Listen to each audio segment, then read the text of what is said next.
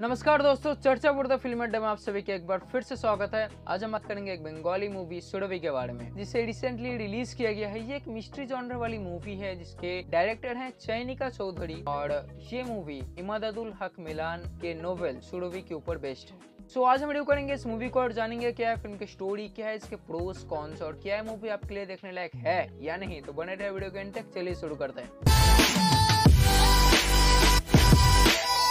ये कहानी है रूम्पा की। रूम्पा के पापा नहीं रहे रूम्पा का एक भाई भी है। पर वो भी ड्रग एडिक्ट मतलब से मम्मी का ही सहारा है। रूम्पा एक दूसरे शहर में एज अ पेन गेस्ट रहती है। घर के ओनर ने ही रूम्पा को एक नई ज़िंदगी दी थी। इसी वजह से वो रूम्पा से कोई भी रेंट चार्ज नहीं करते। पर एक दिन रूम्पा एक अजीब गरीब सपना देखती है कि उसी के जैसे हमशक्ल एक लड़की समुद्र में कहीं खो जाती है। एंड सुबह उठ के कुछ वैसा ही न्यूज़ आर्टिकल रूम्पा को देखने को मिलता है। रूम्पा की मानो पैरों तले ज़मीन ही खिसक जाती है। आखिर हो क्या रहा है? रात का देखा हुआ सपना सुबह सच हो जाता है। अब रूम्पा क्या करेगी? क्या वो इस बात के तह तक जाएगी? आखिर उसके साथ उसका क्या रिश्ता है? या फिर वो सिर्फ़ एक बुरा सपना समझ के इसे भूल जाएगी। फ़िल्म क्या रहती है कि पूरी कहानी ये जाने के लिए आपको फ़िल्म देखनी होगी तो कहाँ देखनी है? तो ये फ़िल्म बोंगो बॉब ऐप पे अवेलेबल है, आप इसे इजीली सर्च करके देख सकते हैं। बेसिकली एक बंगाली फ़िल्म है, पर इसे आप इंग्लिश सब के साथ भी एंजॉय कर सकते हैं। फ़िल्म की स्क्रिप्ट एंड स्टोरी टेलिंग ठीक ठाक है। ऐसी स्टोरी हमने इससे पहले भी देखी है तो कहानी में कुछ भी नयापन हमें देखने को नहीं मिलता। स्क्रीन प्ले एंगेजिंग है। शुरू से ही ये फ़िल्म हमें एंगेज करके रखती है। एक पल के लिए भी हमें बोर नहीं करती।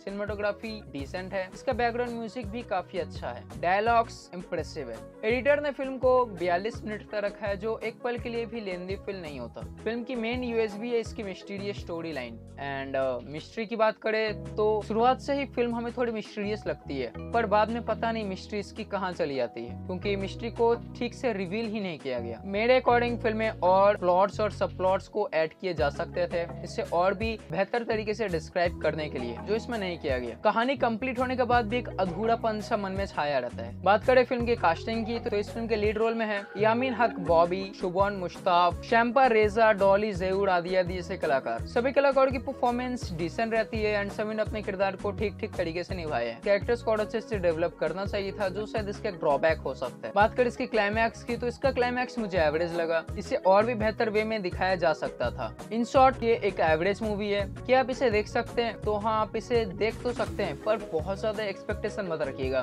क्योंकि मिस्ट्री के नाम पे कुछ बहुत ज़्यादा मिस्टीरियस आपको देखने को नहीं मिलता। मैं इस फ़िल्म को रेट करता हूँ six point one out of ten stars अगर आपने इस मूवी को पहले देखा है तो आपको ओपिनियन क्या है हमारे साथ कमेंट में सेट करें, नहीं देखा तो आप इसे देख सकते कहा? बोंगो बॉब ऐप पे। बाकी वीडियो में कुछ पसंद आते वीडियो को लाइक करना कमेंट करना, इस पे शेयर कर अपने दोस्तों के साथ जिन्हें फ़िल्म देखना पसंद और हर जाते हैं सब्सक्राइब कर देना कंटेंट देखने के लिए।